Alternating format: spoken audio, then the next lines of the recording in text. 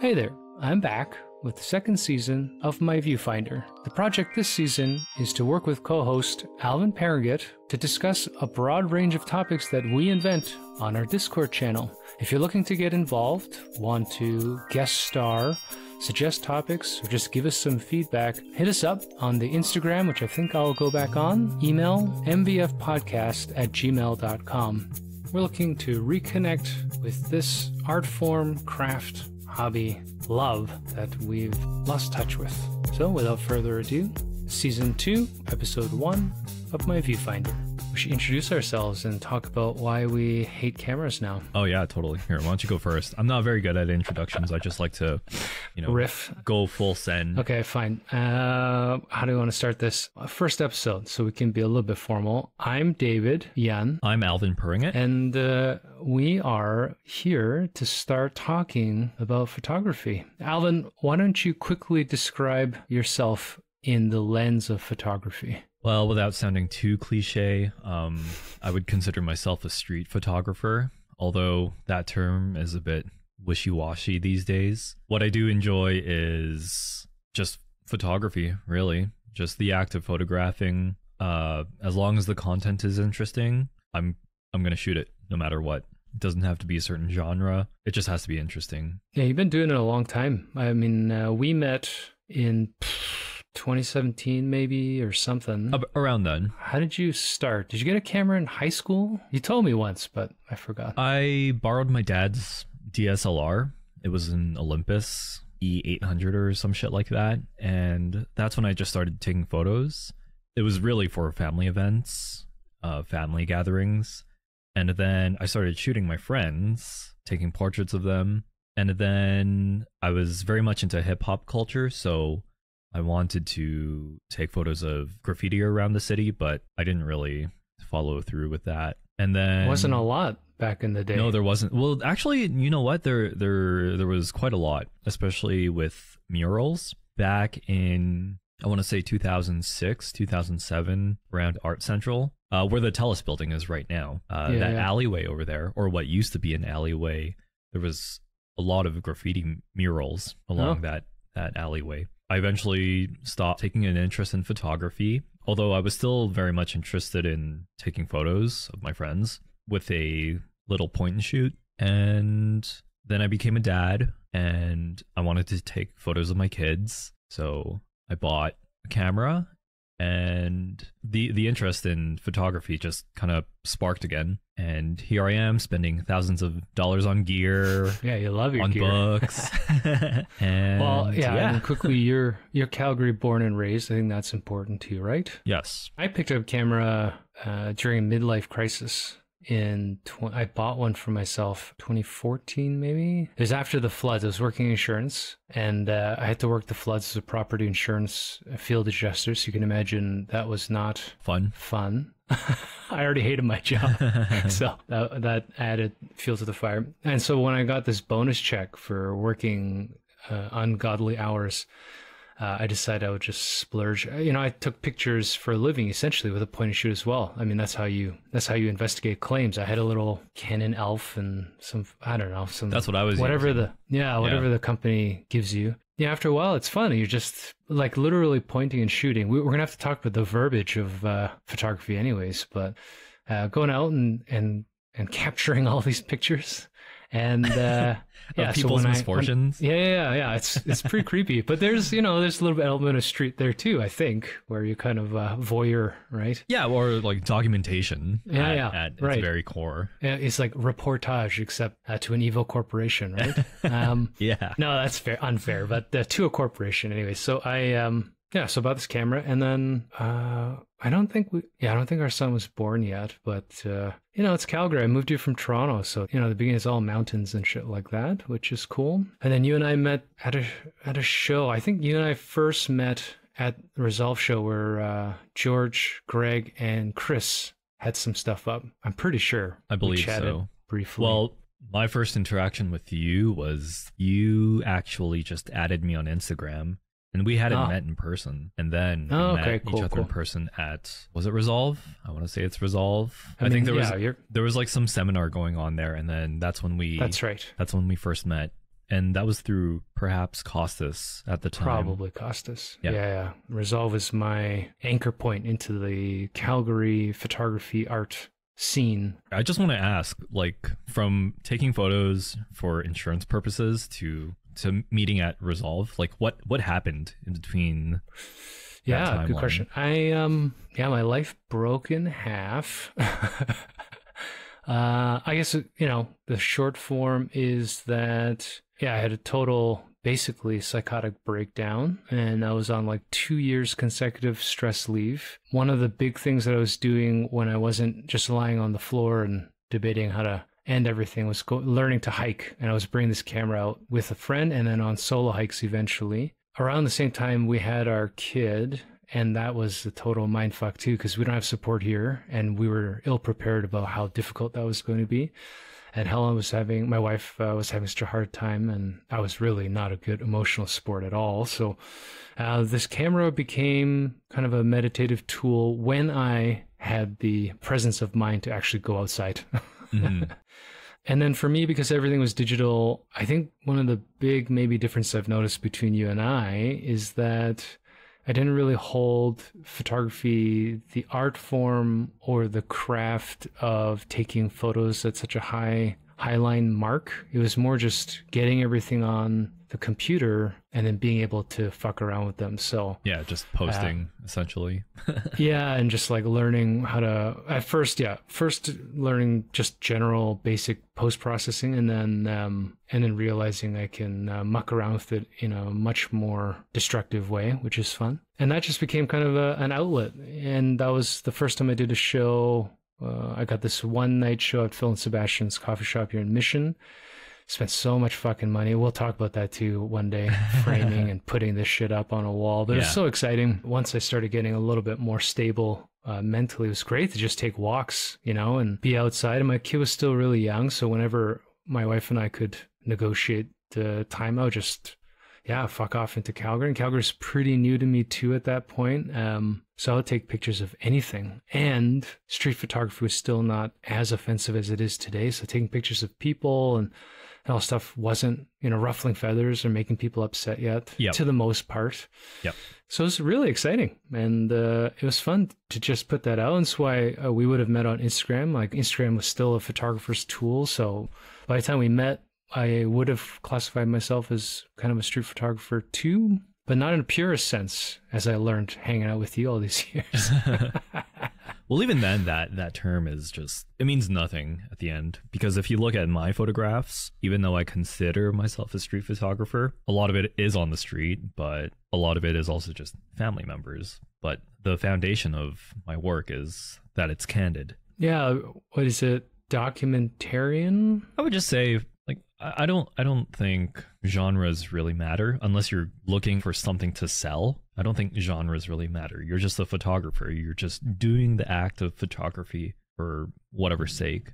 For my sake, it's just because I want to take a photo of something because I find it interesting. Well, yeah, I was thinking more philosophically, like documentarian is in mm, using this tool and craft of photography to record uh, moments or experiences, as opposed to, let's say, uh, studio or art photography, where there's so much more uh, intent in the formation of the photograph, uh, Mhm.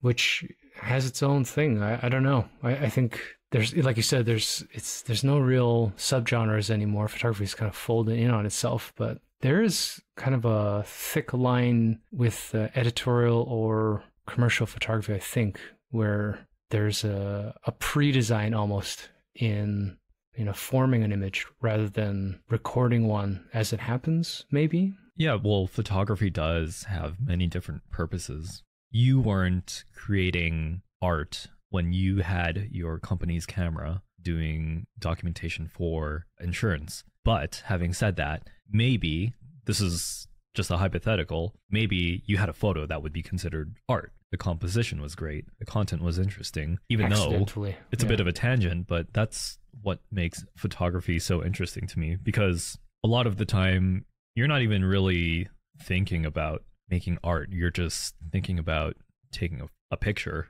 right? I think if you're out there to create art, I don't I don't want to sound so purist, but you kind of take away from the act itself. The it's not really photography at that point. You're just you're just trying to conjure up.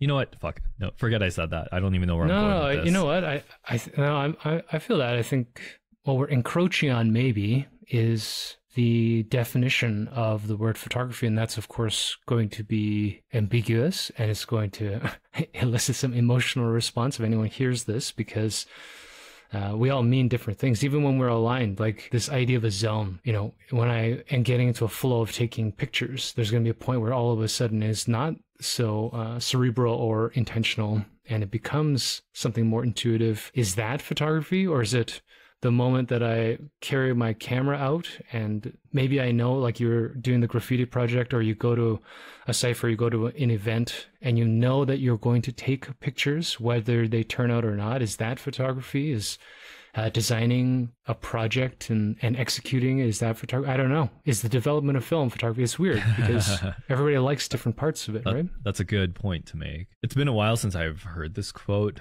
I remember uh, listening to a Garry Winogrand lecture, and he was making the argument that ads that use photography isn't really photography; it's illustration. I think this comes to play too with the idea of art. And, you know, just circling back to what we intended to talk about today, why I think both of us are a little bit disassociated or disillusioned with what we used to think of as a passion. Although we are doing this podcast, so clearly we still love photography at some level. But that uh, sense of whether this is real at all, what makes a picture good. I, not to be too much of a hater too, but often when I go to see exhibits or see what's popular, not that I'm on Instagram anymore, but let's say in the popular sphere or come across uh, photojournalism, or you sent me a few articles in the last couple of weeks which question some of the ethics and morality and intent of content that's being created.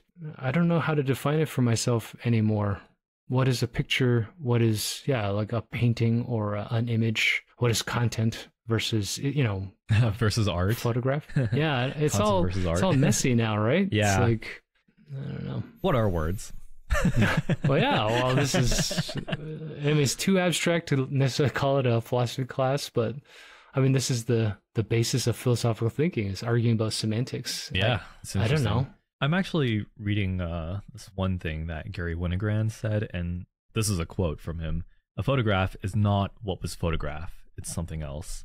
To me, that's it's taking whatever was in the real world and transforming it into something different, something that that kind of gives you a, sus- a suspension in disbelief. Say, for example, um, there's this one photo I took of a flock of birds, and there was shit on the window. And you would think that like all these birds are coming towards me to, you know, to attack me or like take a shit. All Alfred these birds to take a shit Yeah. on top of Yeah. on top of my car. But the reality was there was already poop on the window, and then there just happened to be a flock of birds, right? So you're transforming two totally different real world subjects, and I don't want to say make a narrative, but No, I think that's fair. yeah, but it it it, it does conjure up something different from reality. Would you say you had that intent when you hit the shutter, or is that something you discovered after Um, and I, contextualized th- I think it? I think it was just I think I was just focused on the flock of birds. I didn't even notice the shit until after. That's the interesting thing, uh, and maybe part of my current um, divorce from actually going out and bringing my camera all the time is that I am so conscious of being powerless to create context before I take a picture. I almost feel like I can't hit the shutter unless I know it's going to be cool. Yeah, you know, it's No, weird. I, I I totally get that. One thing that I've kind of come to terms with is that, especially with street photography, with candid photography, there's no guaranteed way where you will have a great picture because 99% of the time, it's all luck. Say you're at Stampede, there's so many things going on, right? So much content that you can make out of, but you have to be at the right place at the right time to make the right photo because yeah you can take a photo of something interesting but is the photograph in- interesting whereas i could have the inverse thing happen say for example this one photo i took of a mural at the seattle surrey border. In real life i was in queue at the border and i was waiting for for the officer patrols to to come check my car. And so i just happened to take something boring. But then when the image came out it was one of those images that someone has told me it happened. It, it was a photo that happened. Something about it just made it interesting. So what i'm really trying to get is it's it's all luck. And and yeah hard, hard work consistency definitely plays a factor but there is no there's no formula to make good pictures you just have to be out and about the right place at the right time and kind of hope for the best, really. If you think about it mathematically, I mean, if you're outside and you're shooting at one eight hundredth of a second, yeah, it could be. Right? It just it doesn't make any sense. Something inconceivably short. That's what I've come to terms with, though. It's there. There are no geniuses unless you're doing like editorial shit. But that at that point, it's I don't know something different. It's illustration to me, right? You're kind of orchestrating shit to to make it a certain way. Um, you're already thinking about the the composition of what the photo is going to be, right? It like everything is all predetermined. Texture. Yeah. And, yeah, yeah, yeah. And if it comes out, if it comes out as your idea, yeah, that's that's great and all, but it's not interesting on itself. It's more so the idea of it is interesting. Whereas you can take something totally boring, totally mundane, and flip it upside down. It, it'll be an interesting photograph that's just burned into your mind. Listening to you, I'm thinking what this part of our conversation today is really begging at is uh, this idea of what makes art in general. So before we worry about capitalism and consumerism and, and sort of the leveraged idea of making an earning with uh, creativity, it's like even when you look at the classics, you know, like what is it that an image, intentional or not, speaks at the human mind or the human soul or whatever you want to call it, and can transcend just being a cave painting. I mean, we value cave paintings now less for their artistic merit and more just for the historical significance. Mm-hmm. But you look at, um, I mean, let's say Renaissance painters as a huge example, basic, stereotypical one. What is it about it that uh, we cherish? Is it the art? Is it the historical context? I don't know. Because photography has a disjointed relationship with that. It's not respected as an art in, in a pure sense. I think there's something weird about falling in love with this process that was yeah. inherently never going to find a foothold in creativity. I, I, agree with you. I think um, throwing money into, if you want to call it the art form, it adds an unnecessary stress and pretense to it. Some of the most expensive photographs in the world are not the best photographs. Like that one photograph of what was it? The fucking that one in like the cave. It was it was like the highest selling photograph of all time. Here, let me let me search it up. Most in the edit. Most expensive photograph. Oh, this Blank. one right here. 2014 for a price of 65 million, but to me it's not it's not that interesting. Here's the thing though. It could be interesting to someone else right? I mean, this um, is, yeah. I mean, usually dedicate. The way I view art is that um, it's a medium which conveys some sort of idea, right? And whatever whatever idea that you get from that or how it makes you feel, that's where the value is, the perceived value. Adding money to it is just makes it it makes a material difference, but at the end of the day, you're kind of just looking at it and you're like, what the fuck? like is like is this supposed to be good? For the record, we're looking at Peter Lik, Lick. let's say, Phantom. Peter um, Lick my balls. Just reading uh, the description. This photo was taken in an area known as Antelope Canyon in Arizona, USA, by Peter Lake. Actually, I don't know, two two different uh, spellings. Auction in 2014 for a price of 65 million bucks. And then, uh, interestingly, as well, they've said uh, here the buyer is listed as private and anonymous, which means this sale cannot be verified. And I think we should definitely spend a little time later on uh, maybe critiquing fine art as a business. Well, yeah, uh, that's true because suspect man. A lot of these things are just tax write-offs, right? There's something, right? There's a game. There's yeah. definitely a little bit of a. It's not really that the the art is valuable, but more so it's taxes. And well, you know, is, the funny yeah. thing is, uh, now that I think about it, in one of the many Winogrand lectures that I listened to, he does mention that. uh, there's books, and I've read as well about, uh, yeah, American capitalist um, I don't know, poison, but the influence on fine art as we understand today. As a recent call out, you know, this NFT so called boom in art that lasted all of one year or whatever uh, was the same problem is this idea that the art itself has the value that is assigned by the market, which is not actually true. You know, I, I think even with the classics, you say Mona Lisa allegedly is the most important painting in some circles, and it will have some kind of uh, valuation, but from a purely mechanical standpoint, as far as aged canvas framing and paint, you know, it, it's not that those things have value or you know it's weird it's a weird thing to attribute a number so this photograph I, am guessing as a physical object and not the uh, rights of the details of the image itself $65 million. What does that even mean? Other than we all wish we had $65 million, right? Oh, hell yeah. that is true. But, you know, just to rewind even more, because I wanted to get us back on where we're at today, you said, you know, often taking what might have been a boring moment in picture in later viewing might have created a, a, strong photograph. You know, why why aren't we shooting boring pictures, Alvin? Why are we meeting at coffee shops and talking about uh, why we won't take pictures anymore? If what we really need to do is just go out, be bored, and and take another hundred thousand shitty frames. Uh, what's going on? Well, I think it's because I don't want to muck up my hard drives even more. I lost a big thousands. one last year. It's fucking crazy. Yeah. With tens of thousands of boring photos. I don't know. I think just having coffee is more fun. oh, for sure. when I look at my uh, divorce from Instagram and uh, being a little shell shocked, you know, obviously COVID, everybody talks too much about COVID now, but it is a big cultural problem, right? We lost two years of. Uh, three, of, actually. Um, three years of innocence. And and I definitely had a break uh, through that. I didn't even go outside. So living in a cave, there's only so much you can take a photograph of.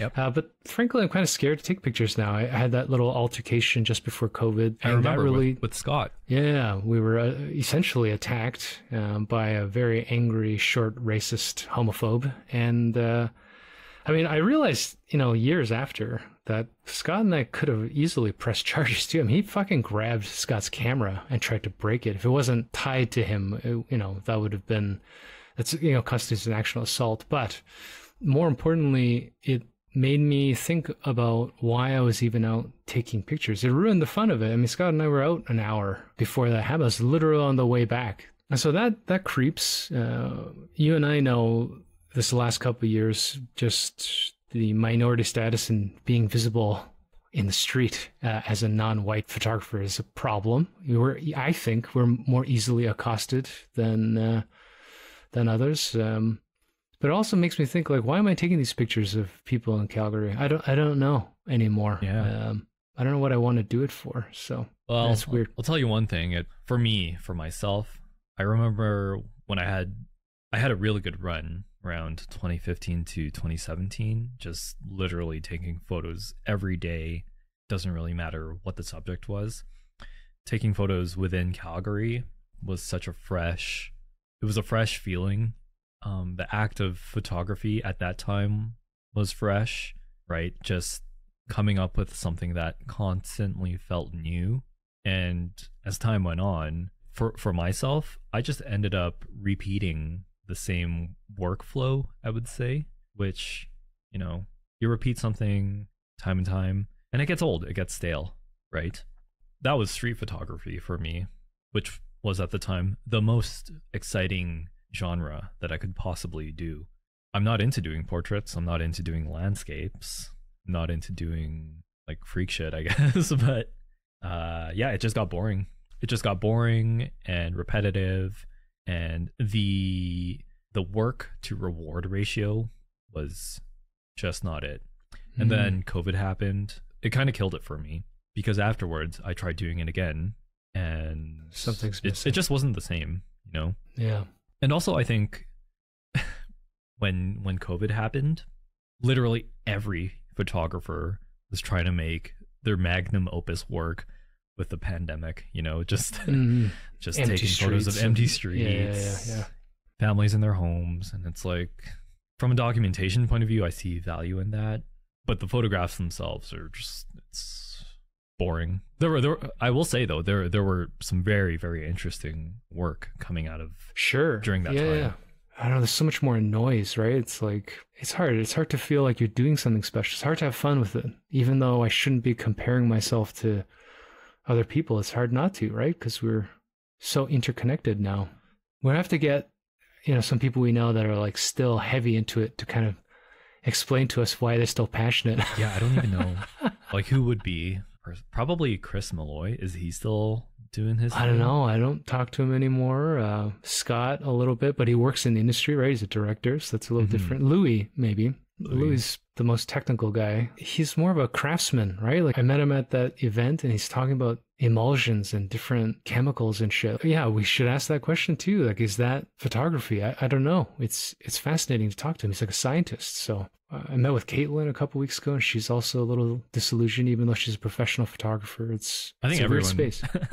it seems like everyone's disillusioned in some way. Yeah. I know I was for sure, especially after I tried quitting Instagram. Actually, I I did quit Inst- Instagram for photography, and then I tried starting it back up again. But now I realize that it's not it's not the same. But the caveat was having Instagram made me made me keep doing it a little bit more. You know what I mean? it's like oh maybe maybe there's some content I can post, but it's just content. It's not shit that I like. You know, I just had this thought about you know, one of the topics I wrote down we should talk about is uh, photographers' relationship to where they are with the lens. Like, I, I hate getting my picture taken, uh, but I'll take pictures of things. Is Instagram or you know um, public forums for photographers a way for us to project who we are through our work? You know, it's like to be seen, ironically almost, uh, without us being seen. Most photographers I know don't post selfies. You know, uh, I think. You know, I think it's more just trying to post the pictures that they took. So there's a weird dichotomy in that. It's There like- is. Also, it's it's like if you just keep posting for Instagram, is it really your work or is it is the work being done because of you or is it being done because of engagement? Truth be told, yeah, for me, engagement was a Oh, yeah. factor for sure. It's got to be both. And Maybe it's swung too far one way. I don't know. for myself when I was, you know, when I had like, I didn't even have that many followers, like 600 followers, right? But I would, I would post selfies. I would post work that maybe other people would have liked, right? There was, there was a bit of ego being projected onto that Instagram account, which is fair game. But when I create my zines, my projects, that was a whole different story. Uh, because I don't know, it was like it wasn't my ego, but more so my my interests. Are those two different things? I don't know. I I don't think so, but I certainly didn't see myself in those projects. I just saw the work and obviously the interest because why else would I why else would I create that project? But that's also something like I think projects like that ultimately matter the most. It's tangible, right? Something you could touch. Instagram is Yeah. for the most part, Instagram is not it is not real, but it's not real. It's not tangible. One of the first things I remember liking about Costas is he told me that you're not a photographer until you've printed your first image, which I thought was a neat way to put it. I mean, he's a printer, so it's a little biased, but I thought that was very interesting for me because, yeah, once it's a tactile object, uh, it holds a different value. But yeah, if we're asking why did I make it into an object, was it to seek validation? Was it to sell a commodity? Was it to get it, you know, into the real world? I, I don't know. Obviously, don't have an answer for that. I will say now, because I'm so much more jaded, I almost feel like I won't print something unless I think someone will buy it. Because there's a huge That's cost involved, right? There is. It's yeah. it's weird. For me, I, I I totally get you from that end. I won't print something nice unless someone's gonna buy it. But fuck, I'm I'm gonna, I'm gonna print something if I find it interesting, and it's not gonna be on my really expensive computer or at a real print shop. It'll, it's gonna be at Walmart, right? Just because I want to Yeah. see, like, I just want to view the what's the word I'm looking for? I guess just the photograph. I just wanted to view the photograph. Yeah, there's something to be said about even the scale of print versus your computer. Like, uh, you know, I've both gone out with little Instamax cameras, and then I, I, I mean, I've seen some of your shows where we print pretty big, and I've made a few images that are printed quite large, and it's different, right? It always feels different because when it's an object, it has a different context too. It's like it's weird. You know, I was just also thinking the flip side. Like if you do it just for purity, you get the mythology of a Vivian Maier, right? It's like Yeah. you know she never existed until someone found this box of shit. Yeah. Was she a uh, photographer then? Because Yeah, it's weird. She didn't print her photo. Well, she did. But she didn't show anybody while she was alive. It's Uh, almost like a the uh what's that saying? It's like if you it's if you if you chopped a tree in a forest and no one heard it, did you really chop a tree or some shit like yeah, that? yeah, yeah. It doesn't make a sound or yeah, it's weird. Like uh, there's a I came across this woman. I think I saw it in a magazine article. She's kind of like a Vivian Maier, but she's alive. So uh, she is a Korean woman. So she's not Vivian Maier. Well, in in this one sense, which is that she uh, she's a Korean woman who um, during Japanese occupation, but before the war, her family moved to Hawaii, and so after the Korean War was finished, she her dad had just bought her a point and shoot uh, color film camera, and when they went to go visit, she just took candid photographs everywhere she went, and then when they were developed, she just kept them in a box. And her daughter, like five years ago, found this box.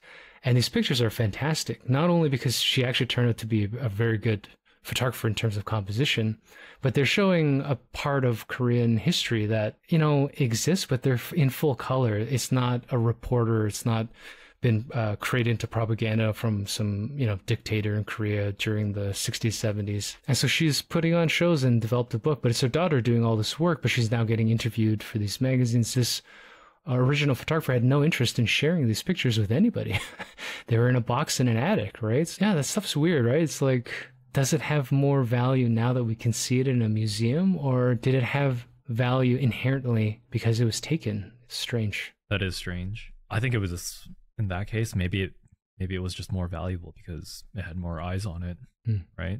Same with the Vivian Maier story. yeah Just a bunch of you know old dusty negatives, maybe a print here and there, and then it got shown on a Flickr group, and more eyes laid on top of them, and it just blew up. It just became more valuable. I don't know. the idea of values like uh, when you and scott scott mallow were keep talking about did your um was it i can't remember when you did your talk it was about street photography or about photography in general but scott was doing that project redeveloping his dad's negatives and build or his dad's photos and that it's kind of the same idea it's like where does the value come in it's weird the idea of value is kind of fucked up you know like i look at my iphone the other day and I have pictures of my. you- You'll do this too. We'll have pictures of our kids, ridiculous candidates because they're too fat or doing something really stupid or crying or falling off shit. And it's hilarious because they're adorable. Is that not a good photograph because we would never sell it? Because they're done on a iPhone 5 and the resolution's garbage. It's perceived value because a photo of my kid that I thought was great or cute would not be important to someone else. It's Unless you became super famous. Yeah. But maybe the photo was great then. It's like, oh yeah, this is the content doesn't matter, but the photograph itself has value. Yeah, you've shown me some of your family pictures that you take in a documentary style. Some of them are great. But yeah, would we sell it? I mean, you sent me that article. We'll talk about it about uh, that photographer who made an art project. Oh, Sally her Mann. children. Yeah, the children in the nude, and uh, we'll try to get to an episode talking about exploitation, etc. But yeah, stuff's weird, man. Why can't we take pictures anymore? I take pictures, but uh, it feels different. Well, what what do you mean when you say why can't I take photos anymore? I just I find it uh, stressful, you know. Not when I'm finally out with the camera. Um, like the other day, I was out. Uh, I decided intentionally to bring the camera out, and I drove. I can't remember if I was doing errand first, but ultimately ended up at Glenmore Reservoir, just taking pictures of the snowy path and trees and shit. And uh, it made me think about how if I'm going to run away from urban human street photography other than sort of architectural things that maybe I should go back out and try to take pictures of landscapes or nature or something just to literally get a breath of fresh air. And in the moment that I'm taking photographs, it reminded me of five or six years ago of just just being out there and part of something, not worrying about whether someone's going to have to see it or how I would post this on Instagram or how it's going to stitch it together. And that part was very cathartic and meditative, but I haven't been out since. You know, you would think that if I enjoyed it, that I would go and participate in it again, and I didn't. So I, I don't know. There's something broken there. I think I can't tell you what it is, but we'd have to solve it. But that's where we're at. yeah, that's that's the issue for sure. It's uh some I think not even just you and I, just a, a thing that everyone kind of contends with. Uh, yeah, I don't know. It's I like the idea of continuing to photograph, but for myself, I have no interest in like what the world is around me at the moment. Hmm. And if I have no interest in the world, then I have no interest in photographing, right? Fuck, I keep going back to Winogrand, but it's like a, photo- a photographer's relationship to his medium is relation is the relationship to his world is the relationship Hmm. to his medium. So maybe we're just too cynical in general. I think so. I- I, think I, th- I think you have to look at the world with like some sort of not even optimism, but Hope, faith. Hmm. like there has to be an interest whether whether it is optimistic or not. You know what I mean? Because you can you can be pessimistic about war, but still have an interest in it, right? Yeah, yeah.